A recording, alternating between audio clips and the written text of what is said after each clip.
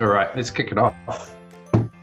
So, um, welcome everybody to discussion about um, remote sprints and facilitation of productivity, uh, or remoteness, I should say, facilitation and productivity. Um, we have today um, two very uh, special guests, Barbara Rühling from CEO from Booksprints, um, and Julia Norrish, uh, who's from Bookdash. Actually, I don't know your role at um, Bookdash, Julia, your, your title. My apologies. executive director, Jill. Executive director. Okay, so we have both CEOs here. Um, I know both projects. I was the founder of uh, Booksprints. My name is Adam Hyde, and I've been a long time uh, adoring fan of Bookdash, uh, incredible project.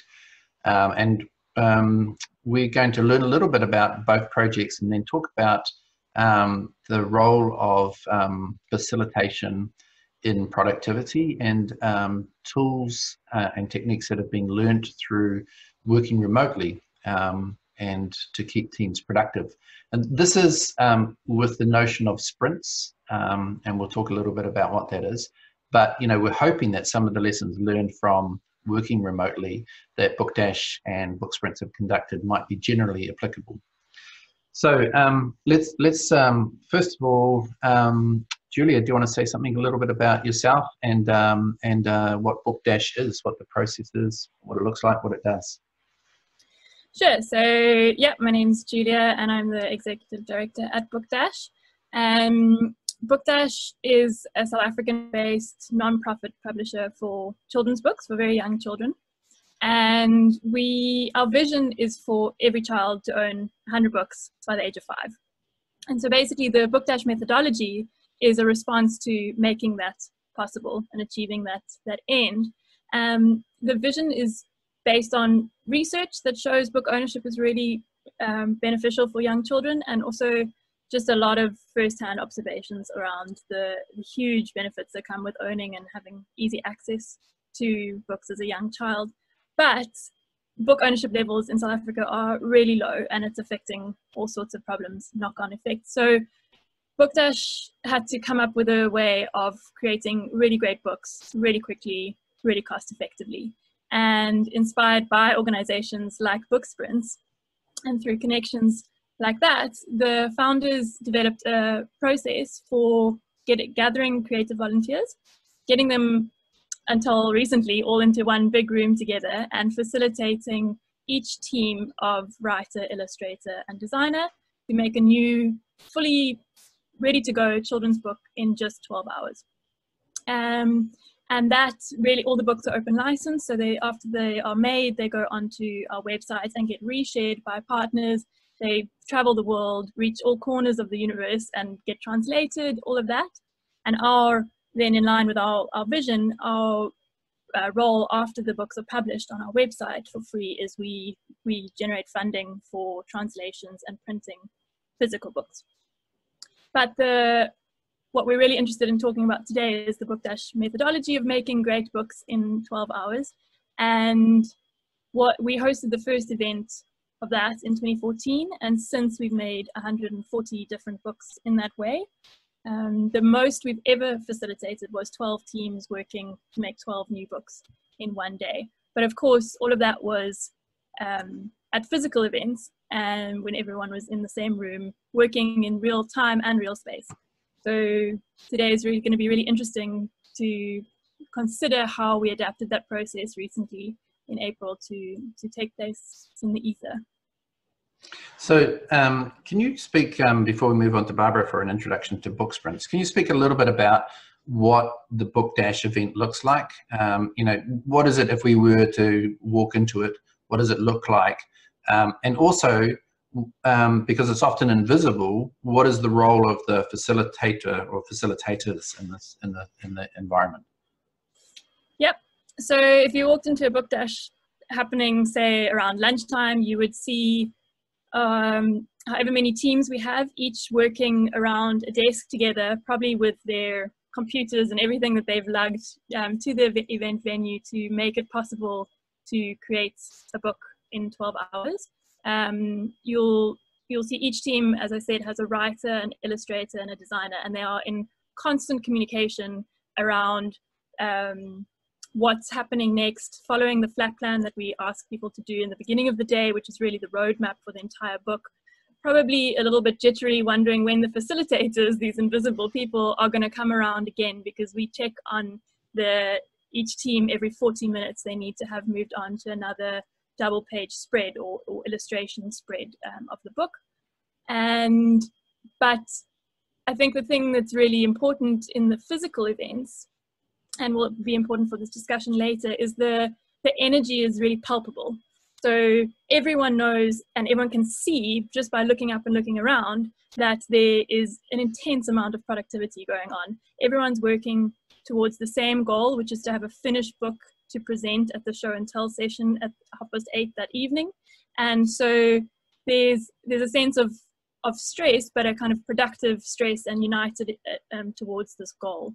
And the facilitators on the day are kind of staying out of the way as much as possible um, until required to check in with the teams.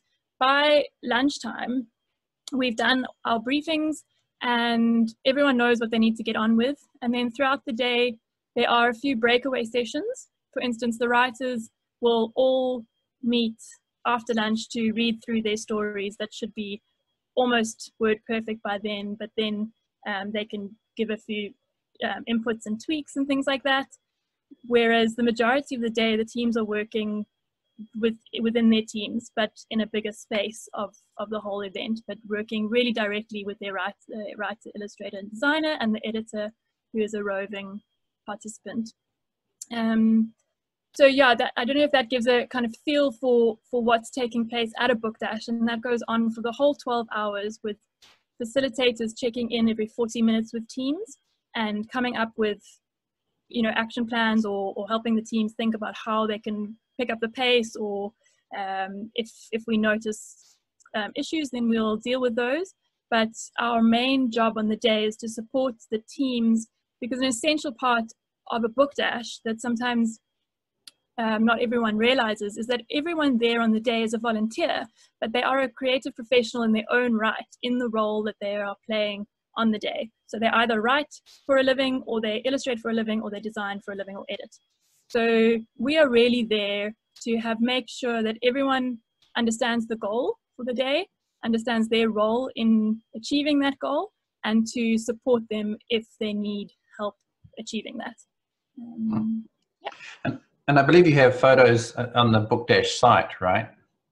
And lots of documentation. Do, do, um, do you want to give out the URL for people to check it out? Yeah, sure. So the Book Dash model itself for creating books in 12 hours is um, is also open licensed, and that can be accessed as well as all the books at bookdash.org.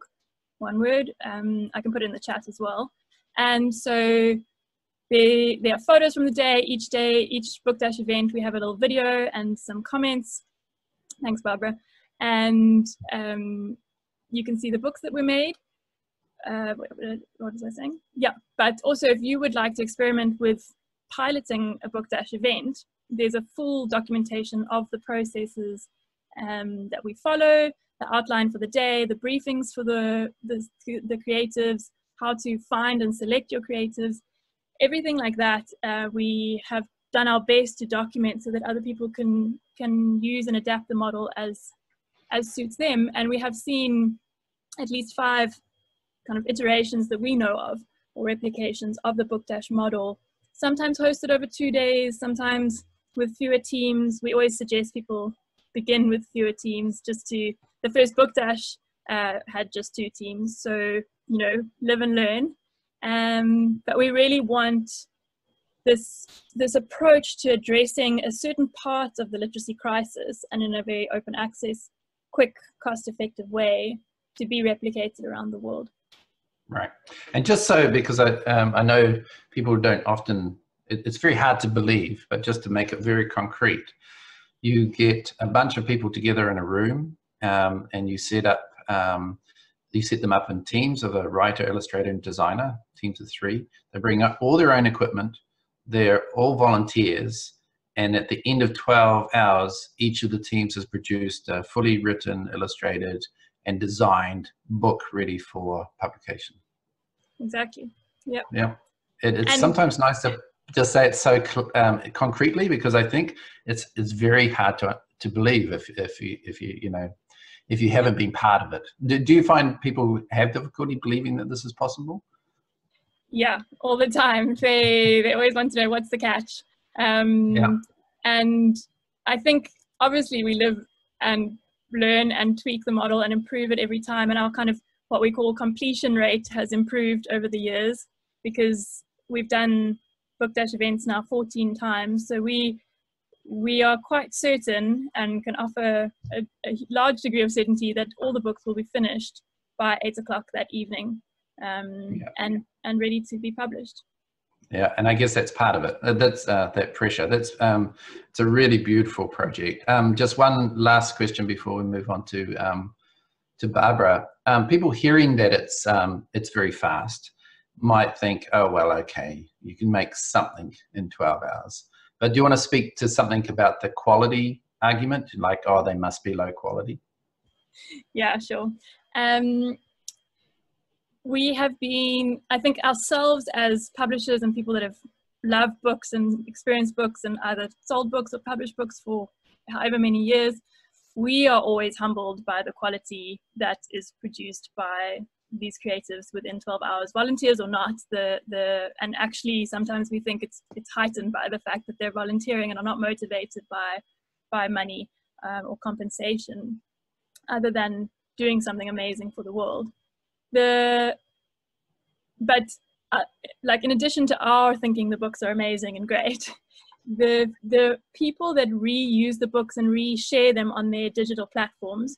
So just for example we have about 50 that we know of again people don't need to tell us if they're the open license is so open that people can use the books without letting us know although most people do the books are used on over 50 platforms around the world, and the number of downloads and comments and reviews and feedback that the books get speaks to the quality that we're producing.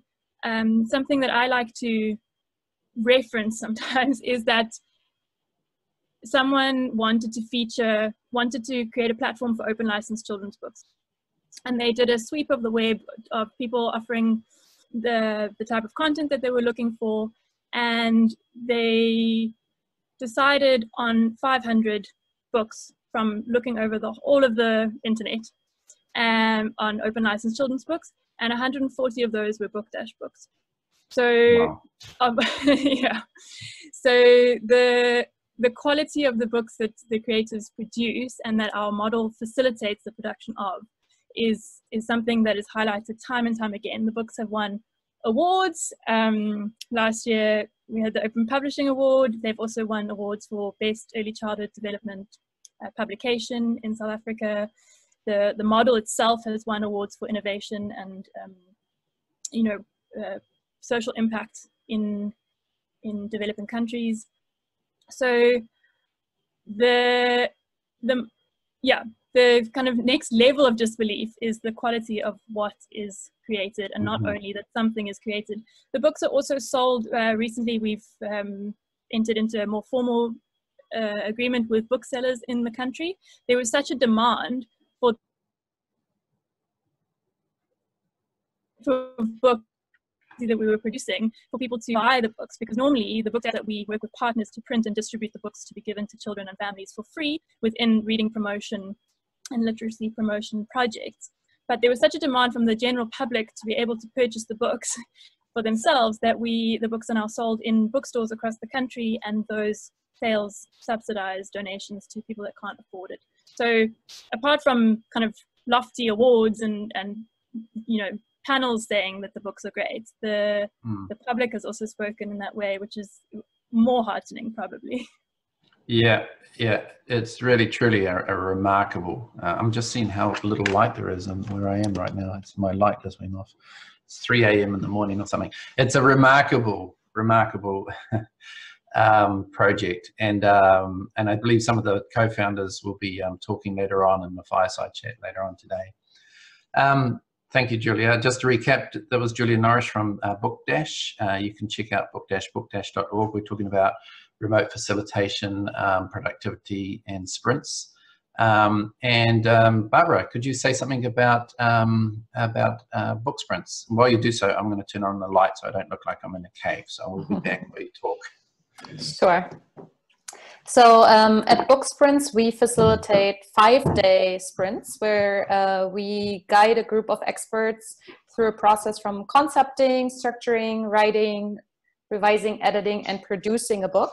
So um, not at the end of 12 hours like you do at Book Dash, but at the end of five times 12 hours. Um, we have a, produced a book that is um, uh, written by five to 15 experts on the topic. It's been revised by as many, so it's um, practically peer reviewed.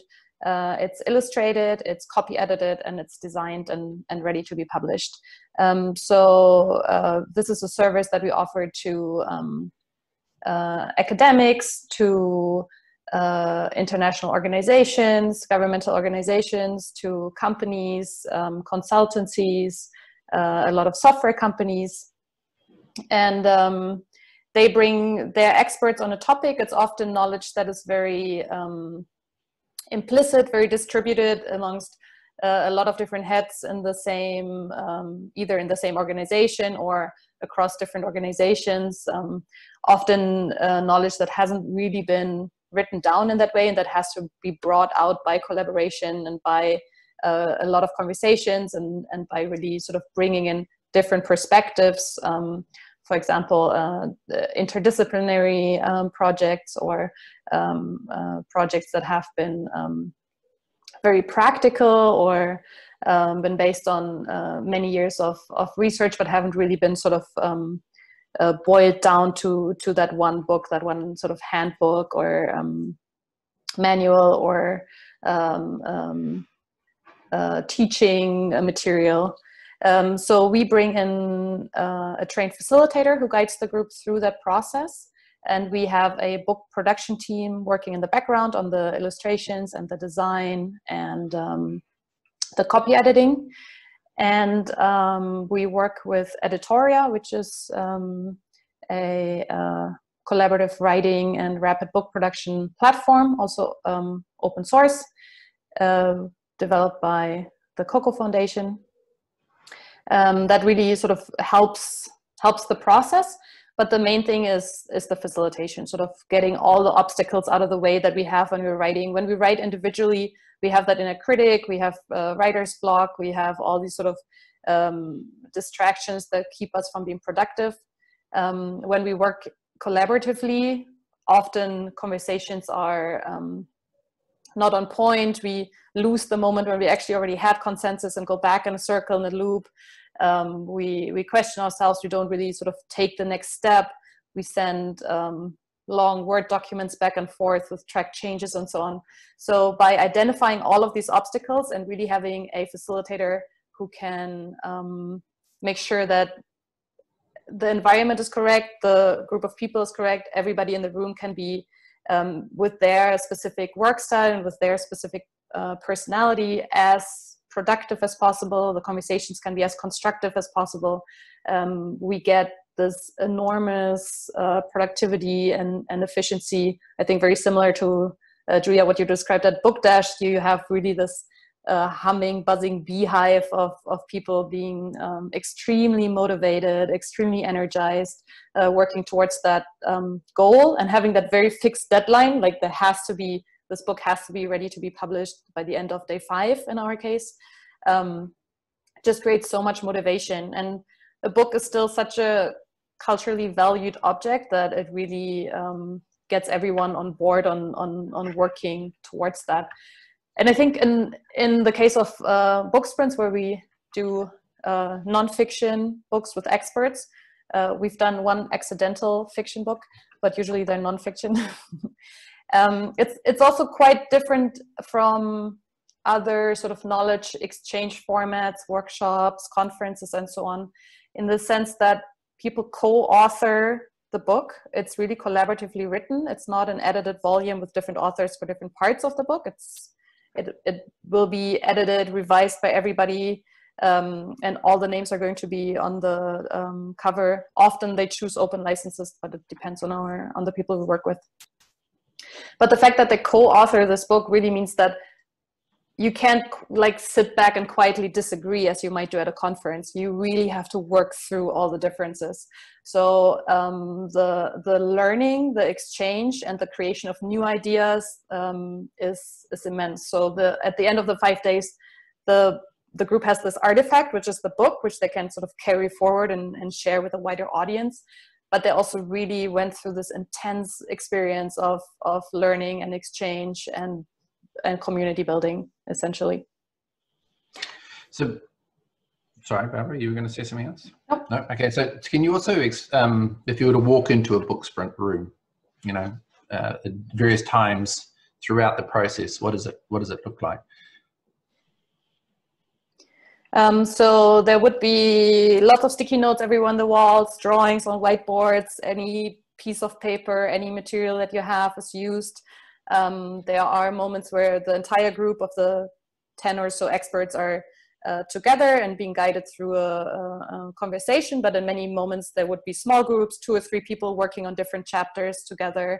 Um, the facilitator walking around, making sure that sort of all these obstacles out of the way, making sure everyone's really productive, keeping time, um, and at the same time coordinating the, the book production team in the background that works remotely um, any anything that comes up often people will draw a quick illustration on a napkin and that will go to our illustrators and they will turn it into um, a beautiful diagram send that back. That's also very iterative so there's also a lot of back and forth.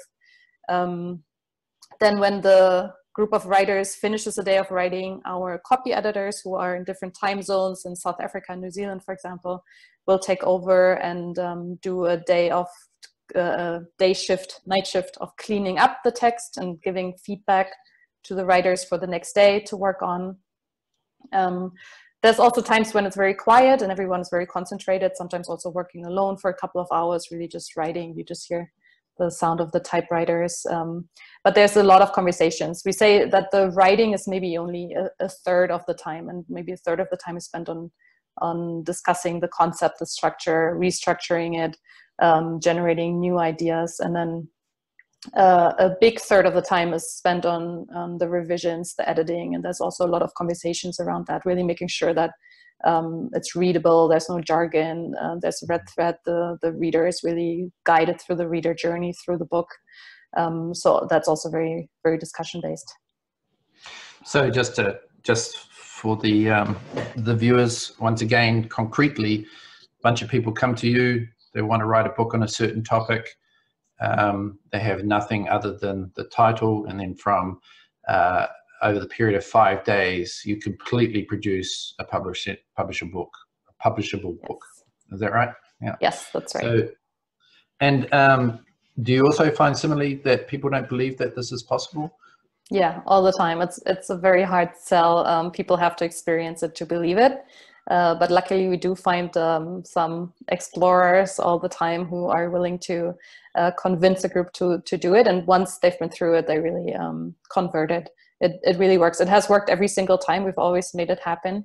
Um, and uh, yeah, once you've seen it, you believe it. But it's very hard to explain to someone who who hasn't seen it.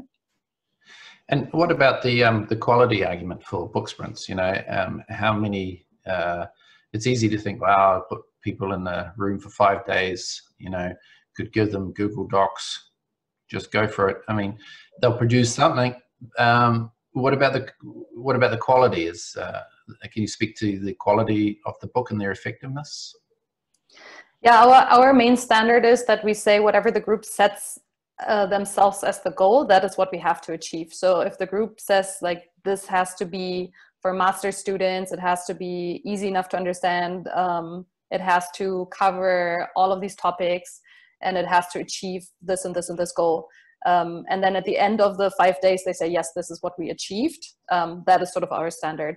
Uh, we have books that have been um, downloaded hundreds of thousands of times have been translated into more than 11 languages uh, that are used for training materials all over the world. Um, they end up on ministers uh, desks um, yeah but, but uh, numbers only are a small part of the story because some of the topics are very niche. So sometimes a book reaches a thousand people but they're exactly the thousand people that have to read this book. And and um, it's it's a huge success for the organization who wrote it. Um, so we always try to follow up and see what happens to the book, and and the groups are extremely happy with it, and it serves the goal that they wanted to serve. Um, then that means for us that we, we, we reach the quality that we need to reach. And they're also often um, published by more traditional uh, publishing houses. We just had a book in um, Cambridge University Press, for example. Um, so yeah, we are we are very happy mm-hmm. with the quality. Great, um, excellent. Um, so let's let's talk a little bit about um, about productivity um, and and real space productivity when it comes to sprints because these are two very special environments, right? And just as a framing, you may wish to disagree with it. I, would suggest there's possibly three things to think about um, that we could talk about one is the tooling, the other one is um, is the moment, and the other one is facilitation. Right?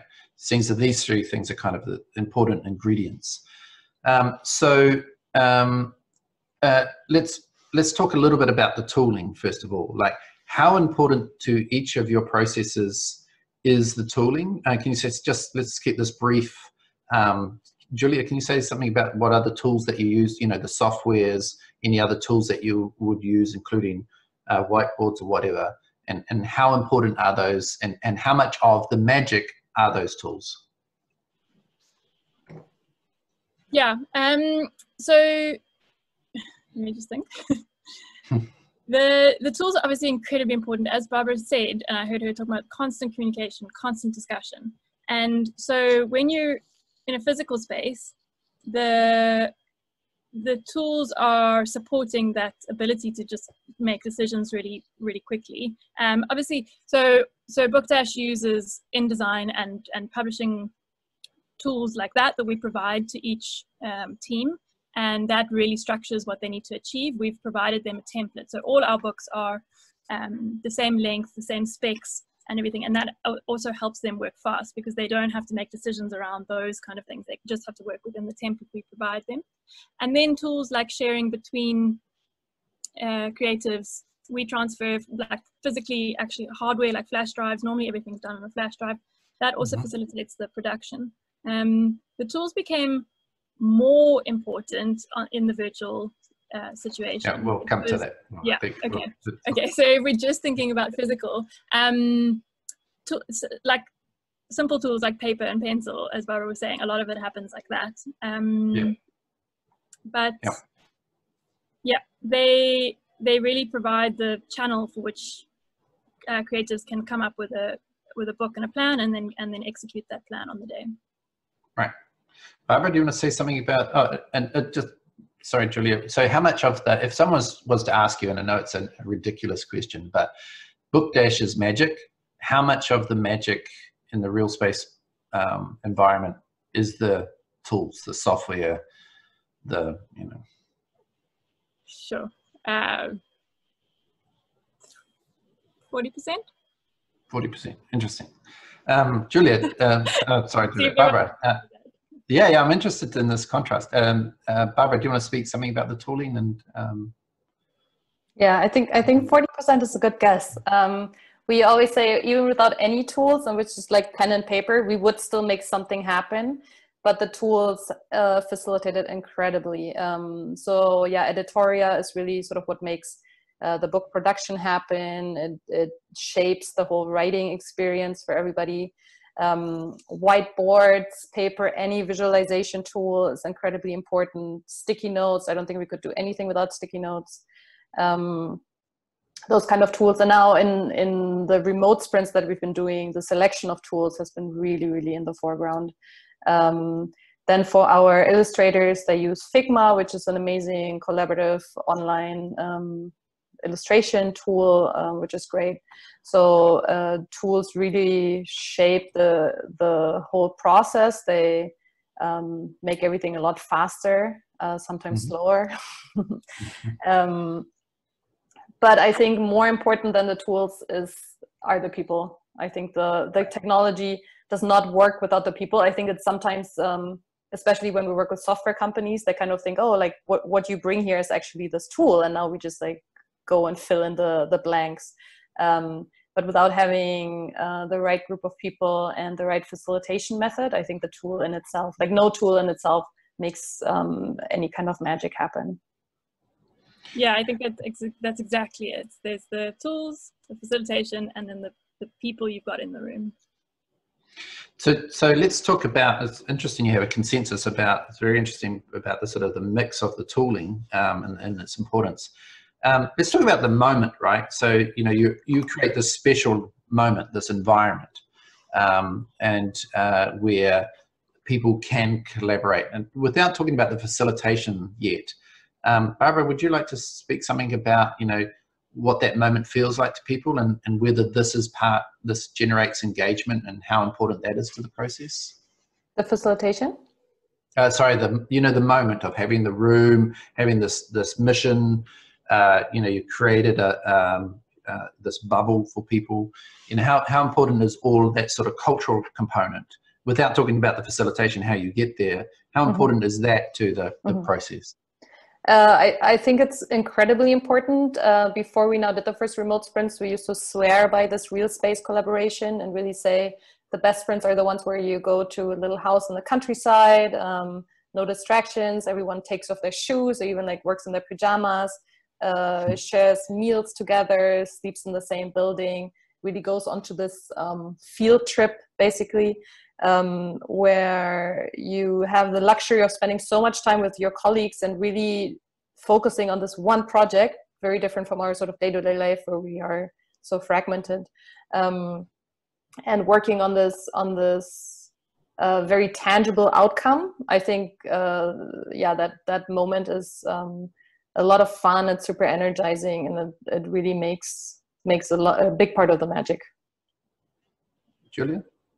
Yeah, exactly. So what you're calling the moment, we call the magic, and, and same word. It's that um, intangible feeling of of everyone being together and and working towards a united goal. And we we also create that. A huge part of our job, not as the facilitators, but as the kind of hosts of this space. Um, that we get everyone to, you know, we have there's music and there's bunting and there's you know the food and there's wine and and um, and our energy on the day. Often we'll call ourselves cheerleaders as much as facilitators. So our energy on the day is really adding to that, that um, setting the tone for the day as well. So we do very strategically think about how to create that magic um, and bring everyone into the space and then they bring their own magic. They kind of rise to the occasion, I think, is what we see. So moving on to facilitation, um, what, what role, what, what is facilitation to you? um, each of you, and what role does that play in your process? Julia, do you want to speak to that? Yeah, so I mean, I think facilitation obviously takes many forms depending on what you're trying to achieve, but at the end of the day, you are trying to get the the people taking part in whatever event it is, um, whether there's a tangible goal or a kind of theoretical, conceptual goal, you're trying to extract as much of or empower them as much as possible to achieve that goal. And I, I really like what Barbara, the terminology she uses around removing obstacles. I hadn't thought about it necessarily in, in that, those terms before. So your job as a facilitator, I, I always think that, especially as book dash facilitators, 80% of our work is done beforehand because we've had to think of everything that could or might go wrong, that might slow down the process, and know either know how to deal with it if it happens or already have dealt with it and that no one sees before the event takes place. Um, so much of the thinking of facilitation has happened that way. And then in the kind of real-time facilitation to, yeah, to bring out everyone's best and, um, and to also, when you're doing rapid facilitation is to keep reminding people of that goal and identifying anything that might slow, slow you down on the way. Mm -hmm. Mm -hmm. Barbara? Oh, I think you're muted, Barbara. Okay, thanks. yeah, I, I, think the facilitation is is everything. It's extremely powerful, and I like what you said about uh, having it sort of being invisible. I think the more invisible it is, the better it is working. Uh, a lot of things you had you have already removed the obstacles, so people don't even know they ever existed. Um, it's in, in our case it's uh, extremely important being uh, external facilitator we are not invested in the book topic at all and the outcome of the book we don't own any of the uh, book that that comes out in the end. So the group can really trust us in moments of disagreements um, or also just uh, personal tensions or whatever. They can really trust the facilitator to to act in the best interest of the group and the project. Um, we sometimes say it's a little bit different from other kinds of facilitation in the sense that it's so production oriented. So it's not just about everybody having a great experience. It's also about getting achieving the goal, having a book at the end of the of the day. So it's a little bit of both. You have to make sure that all the um, participants are are happy and and can be as productive as they can be, but at the same time, um, you know it's not it's not just about singing kumbaya there is sort of a real goal to to be achieved and keeping everybody on track and making sure that that that has that that is happening um, is um, yeah, it's, it's, it's, it's really good to have an external facilitator who can take care of that so people don't constantly have to wonder about the bigger picture and can really focus on the small tasks at hand. Whereas um, somebody is working in the background and making sure that everything gets done in the right time, in the right moment, and nothing sort of like falls off the table. So, um, for those who just tuned in, we're talking about um, uh, sprints, just been doing a summary of um, what a book sprint and a, what um, a book dash looks like. Uh, we have with us Barbara Rühling, CEO of Booksprints, and uh, Julia Norrish as the Executive Director of Bookdash. Um, and so we've framed this kind of what these events look like, the important ingredients of it, at least some of them.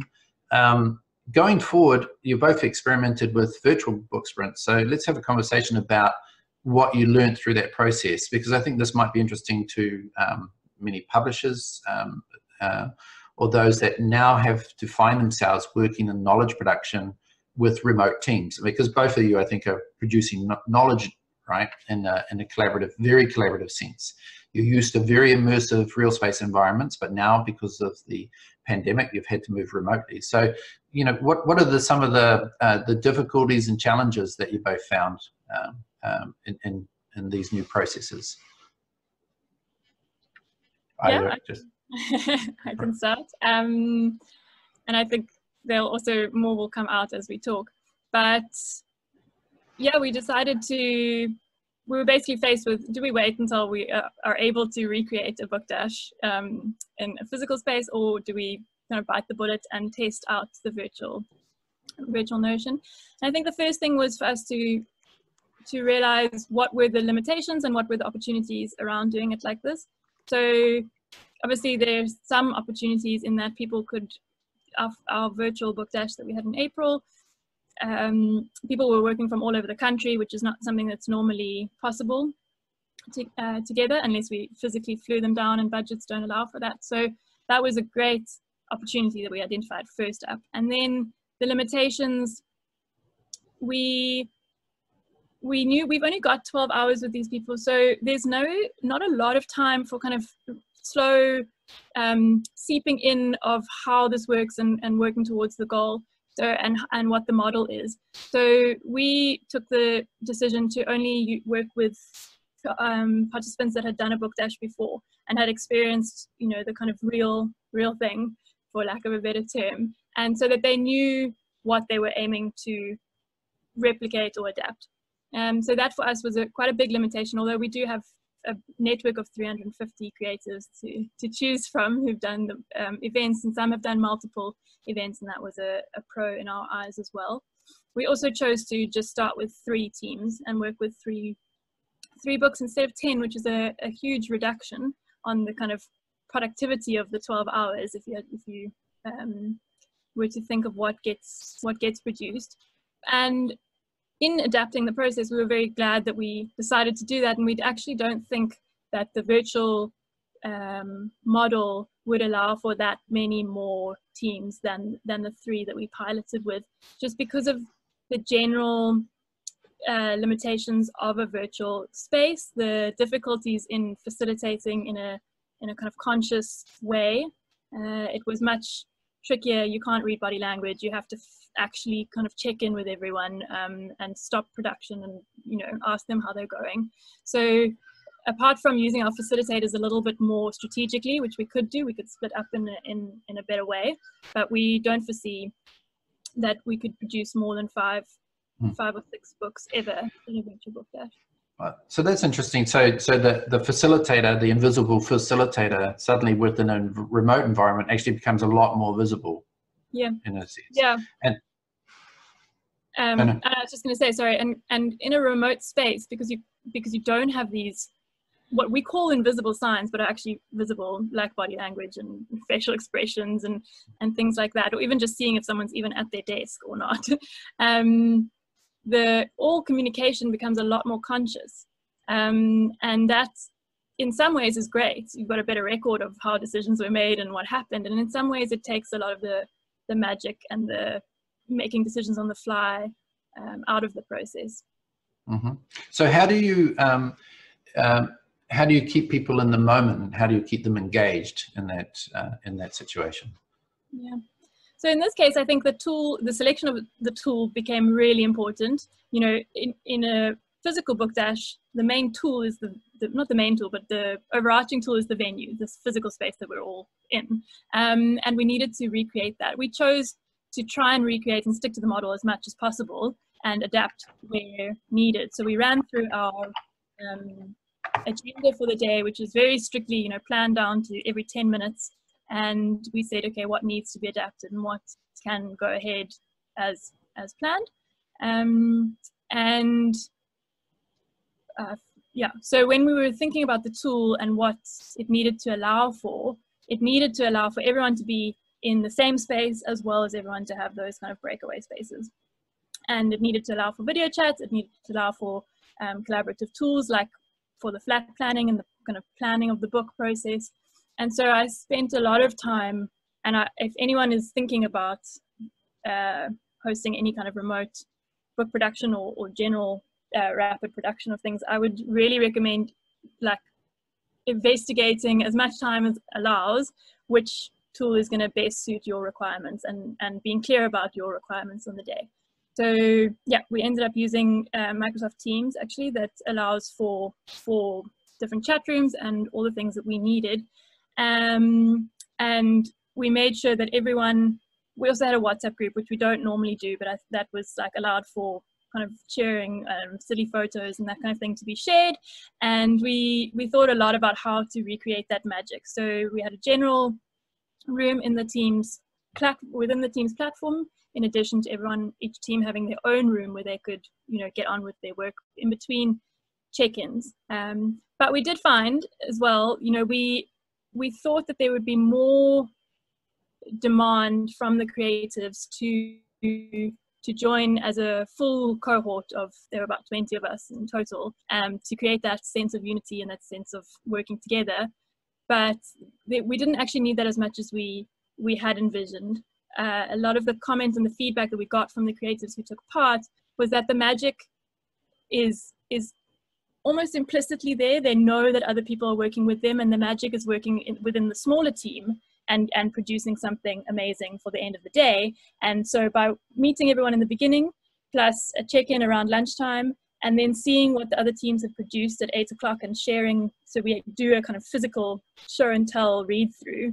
Um, and for the virtual event that allowed us to stream it to YouTube Live, which was also another opportunity that the virtual nature gave. Um, that was enough. That is the magic of the book dash, I think. Um, plus the facilitators checking in. That's interesting. So th there's a certain amount of. Um, it sounds to me that the intimacy on the larger group didn't um, gel as much from what I'm hearing what you're saying, but it was like the small groups they found in a remote environment they could create intimacy and a working um, momentum in small uh, action groups. Would that be Yeah. accurate? Yeah, and I think we as facilitators, we're, we're used to having oversight of the full event. And so that was front of mind for us when we wanted to, to move virtually. But I think perhaps we didn't realize that there aren't that many moments for the, the creatives working in, in their smaller teams that they actually, apart from seeing, physically seeing everyone, um, that they interact with anyone anyway. So that intimacy of the smaller group was maintained. Um, and that's is the majority of what they experience on the day as well.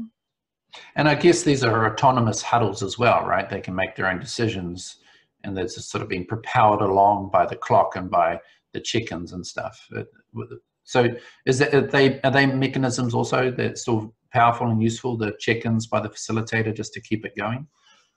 Yeah. Otherwise, I can tell you that if we didn't check in with our teams, we probably wouldn't have any books on our website at the moment right, right. Um, because they've got all the skills but exactly what barbara was saying they need um, they need someone to tell them when it's because we're working with you know creative people and and usually perfectionists. So we need someone to tell them when you know this is good enough it's 95% perfect move on to the next spread otherwise you're not going to finish. You can come back and tweak it if you want to if there's time there almost never is. Um, and at the end of the day everyone is much happier with a 95% perfect completed book than one perfect spread. So we actually um, have to be well we uh, we i think what we're really good at at book dash as facilitators is recognizing how much a team needs to be pushed along and when they're better being left and they're going at the at the pace that they will finish. But we do even if we don't um, physically tell a team to move on we're still tracking them behind the scenes and knowing um, okay fine we're giving them an extra hour. Let's see what they do in the next hour and mm-hmm. um, if they're still behind then we we need to have a stern, stern conversation. So um, it's an unfair question but in the in the virtual environment um, you know what would you break down you know in terms of the tooling the sort of the moment and the facilitation? What would is the percentages change or do you feel it's just it's it's remains the same it's just slightly different? Yeah i think that's interesting. I do think that in the virtual the the tooling probably became more important because the tooling is what's facilitating the communication. Um, in a in a physical space, we can all talk to each other in real time. It's no problem. But if you choose if you choose a tool that doesn't easily facilitate that communication because it's constant. So people are always, it's what do you think of this color red? Do you think um, Sadie's parents should be here, there? You know, it's like we're always talking about what's going on, um, deciding color palettes, and it's so collaborative. I really like what Barbara said around um, the co-authors and everyone going on the, the cover page as as equal weighted authors because at a book dash you cannot distinguish really between the role of the designer and the illustrator. And then you know sometimes the writer depending on sometimes the writer can illustrate at, at our virtual book dash. Um, the writer is a you know very accomplished illustrator and he was coloring in drawings throughout the day once the words were finished. So there's no those boundaries are really um, dissolved in a in a book dash environment. And if that if the tool that you choose to host the virtual event doesn't allow for that communication i think um, it's it will have a greater effect than, mm-hmm. than in the physical space. Um, but at the same time, you can choose the base tool and you can have creatives that are just not able to to complete the task at hand and you still end up with no book. So, so the, the, the moment is still important. It changes a bit. The texture of it changes. It works better in small teams. The tooling is very important because it becomes the main vehicle for communication. So there's an increased importance there, but also the facilitation is still critical, but it changes because you're more um, deliberate about it, I guess. Would that be accurate? Yeah, more deliberate. And we realized that facilitation would be constrained um, because of because of hosting it virtually and so mm-hmm. the the importance of the pre-knowledge of the model became important to us hence why we only chose the people that right. Interesting. So, so part of the moment, the, the magic of the cultural bubble is created by inheritance from previous events. Uh, but what's interesting about this, it sounds like the, I mean, you have the tools and you have the people. It sounds like there was more work for facilitators because you went from 15 to three books. Would that be accurate? There's more work for the facilitator in that, or is that some other reason why you sort of scaled down? Yeah, that's interesting. Um, I think stuff just takes longer, and then all group activities, in order to create that moment, we wanted, we would never normally introduce, have everyone introduce themselves. That would take forever with 50 people. Um, but we wanted, that was one of the ways we said we need to do that in the virtual space.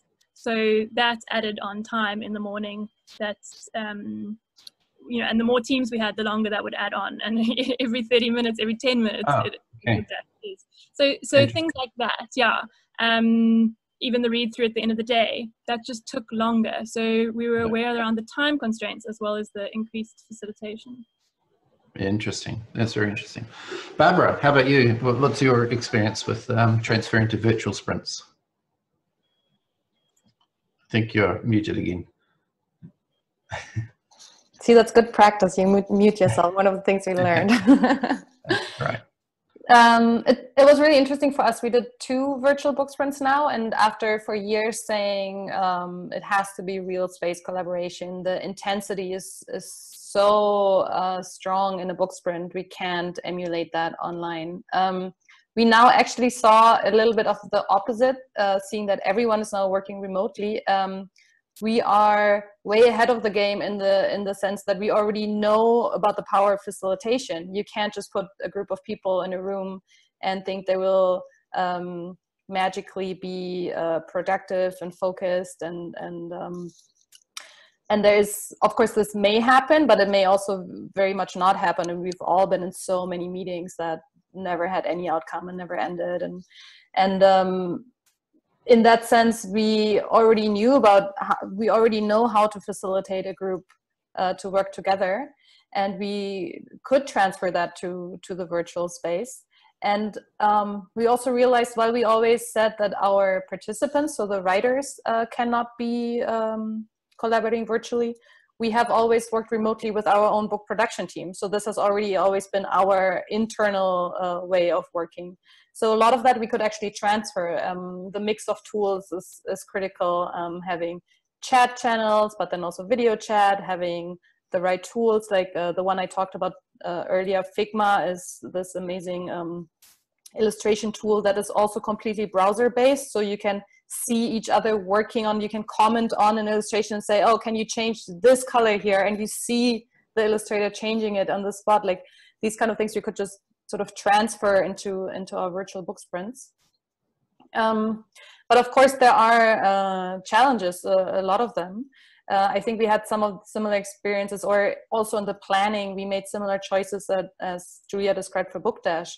Um, we said smaller teams, the teams have to be smaller. It didn't actually happen. The, the first team we worked with was bigger than what we usually recommend. And this is one of the interesting learnings that we found that um, the selection of participants, we usually say no more than 15. If we have more than 15 people working on a book, it actually becomes less productive. Um, there's less trust in the group. There's, the communication doesn't flow as easily. Um, so there's a selection process that the organizer does. And flying people in or, or actually bringing people together in a real space, there is that very real logistical problem. Setting up an online meeting and then limiting the number of participants is very difficult because technically anyone in the team can can participate. So we actually ended up having a bigger group than um, than we recommend and uh, we had to be very very structured um, also I, a lot of the things that julia describes like usually the facilitation is a lot more organic. The facilitator feels the room. You see what is happening. You see if somebody is unhappy or not sitting at their desk no? Um, uh, the check-ins are sort of they just kind of happen in like informal conversations. In a in an on-site book sprint we have maybe one or two formal check-ins with the whole group in a day um, in the virtual sprint we did these we forced these like every three hours even though people were often like oh can we just continue writing? But it's like no no no you have to like the team has to know where you are.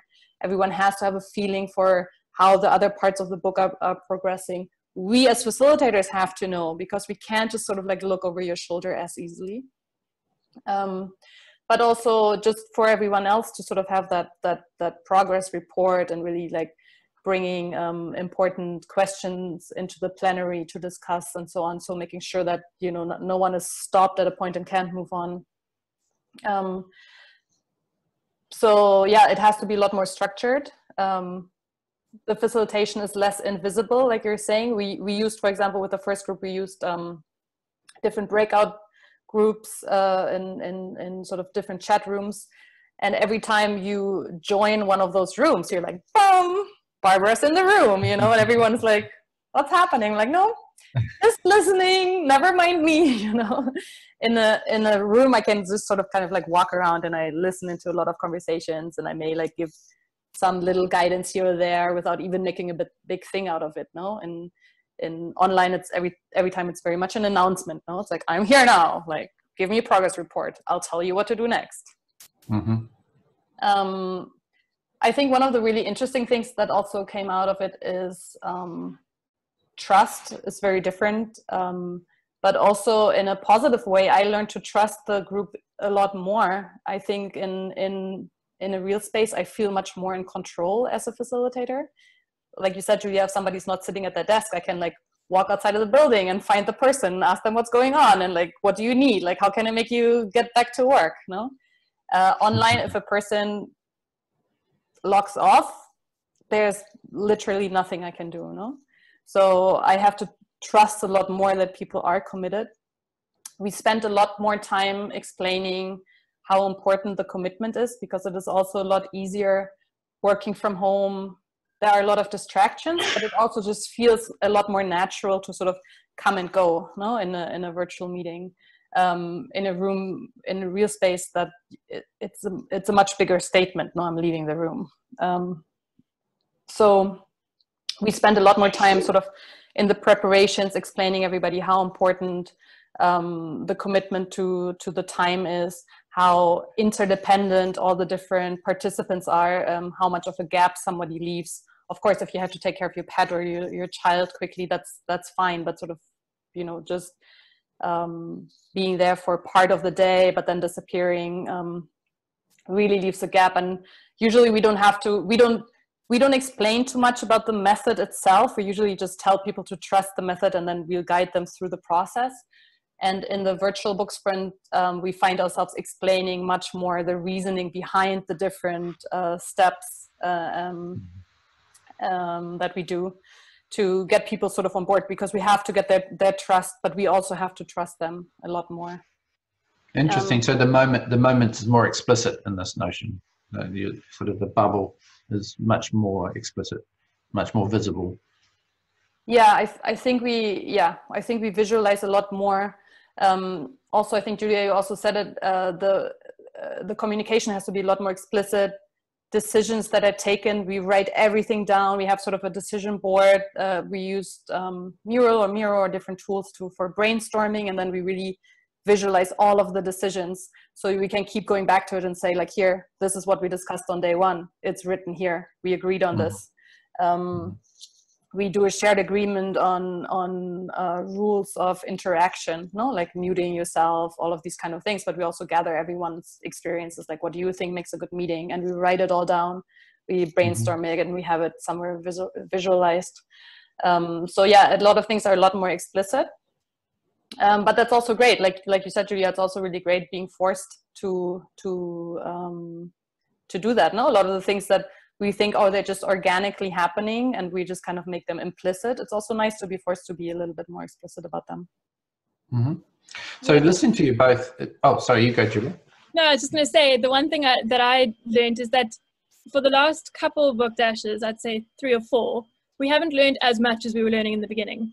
Um, you know we've kind of thought oh we we got this down now. And then with everything needing to be explicit, it did identify or, um, highlight a couple gaps in the model, which would I thought was great and really humbling.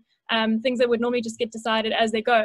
You know, we're now in writing. It's like, oh, what like what is our um, stance on inverted commas? Do we use what's our style guide? Things like that. And it's it, I think that was actually really enjoyable about the process is to really find those tiny gaps in the model that are still there um, and and address them. So, it sounds to me like, it, listening to you both, there's a kind of three things that are, uh, I think maybe three, um, take away about working remotely. Um, one, it seems that um, the tooling becomes critical because it's part of the environment. It's not just something that you pick up and use. It's actually the thing that enables you to um, collaborate with your colleagues.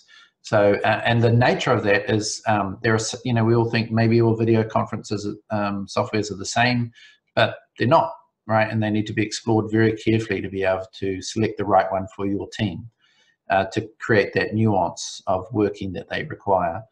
Um, the other one, it seems to me that the um, the cultural context, and this would be true of any office as well. An office has a certain cultural context that's generated by the people in there, and um, and the presence of those people and the and the managers, which might be shapers or other people. And it sounds to me in the in the in the virtual environment from the sprints, you have to be more explicit about it. You have to really spell out what the rules are. And these are the rules, and you know this is how it's going to roll. Um, and and the other thing, it seems to me like the facilitation works over time. You you both sound like you're working a lot harder, and you also both sound like you're making a lot more. Everything's more way more explicit. That's four things. um, the the communication's more explicit. The the expectations are more explicit. Um, the decisions are more explicit. Um, would that be a fair summary of you both uh, uh, from you both? And do you think are there other things that you would add or or uh, detract from from those points? I think it's a good summary. I would um, say one last thing about the tools. I think in on-site uh, sprints, our main tools are the actual space and our actual communication as our voices. So um, of course those tools are equally important but it, when they come mediated through technology yeah then that technology becomes so important and we also spend um, a long time testing and deciding on which tools to to choose but you also have to know that there is no perfect tool. Like every single tool will have its little um, downsides. And um, that's also where the facilitation again becomes so important. And also the motivation of the participants because there will be moments over and over again where you have to kind of like break through those little frustrations of oh this isn't working and why isn't this integrated in this? And you have to kind of like keep moving on and getting through those um, uh, barriers. So just relying on the tools again um, i think wouldn't work um, would you, um, Karina has asked a very interesting question, and I'll put it to both of you. Let's say tomorrow uh, there's a magic cure and everyone goes back to real space. Um, would what you've learned in the virtual environment um, improve? Would you bring some of that back into the real space, and would it, you know, to improve what you do? That is a very good question. um, I don't think it would necessarily change how we've set up the model, but I think it has definitely informed us as facilitators of what what is a deal breaker if it can't be recreated and what is what is important to the creative participants. What we had assumed we needed to recreate in the virtual space is not necessarily what they wanted to be recreated, and so we thought, um, like I said, lacking the the big group feeling might be a, a more disconcerting or, or um, make the event less fun. But the feedback is that it didn't. So we we we understand better now what motivates our creative participants, and I think that that insight is really invaluable. I think for us, there's also a lot of little things. Um, just like you said, in, in every single book sprint that we do, uh, we learn and we adapt for the next time. Like our our toolkit um, becomes bigger and bigger with every single one. But of course having this sort of uh, uh, yeah extreme change of environment created a lot of more learning. So the the overall process is not going to change but i think there's go- there's a lot of little things that we learned um, and also tools that i think we can we can introduce in on-site sprints and, and facilitation techniques. Um, i think we're almost out of time um, thank you both for this. Um, we had some questions. We didn't have so much time for conversation with uh, everybody else that turned up. Maybe um, would you both um, just um, give the URL of your projects and how people could uh, get in contact with you should they wish to? Yeah, so sure. Bookdash, anything that you want to know about Bookdash should be covered on bookdash.org. It can go in the chat as well. I'll put my email address there as well. Um, and just to say that we, yeah, we the same way that the physical Bookdash manual for recreating that is is online and, and available for anyone. The we are writing up and still adding to that the learnings and the processes and tools that we use to do a virtual Bookdash. Um, and we do try and help people to run their own, but that's not our core work. So we'll help where possible um, if you are interested in running a similar event. For those that would be watching the archive and wouldn't have access to the chat, Julia, do would you like to say your um, email address? Sure. So if you just email team at bookdash.org, that will be the quickest way to get a response. And the site is bookdash.org. Bookdash.org. Uh, Barbara? Yeah. Uh, I just wrote in the chat, uh, booksprints.net is our website. Um, we wrote um, already quite a series of blog posts about our experiences with the virtual sprints, and we continue writing those. So you can also find more information on, on the remote work aspect there, and about book sprints in general, of course. And um, Barbara at booksprints.net is my email address. Any questions, you can always, um, yeah, just send me an email.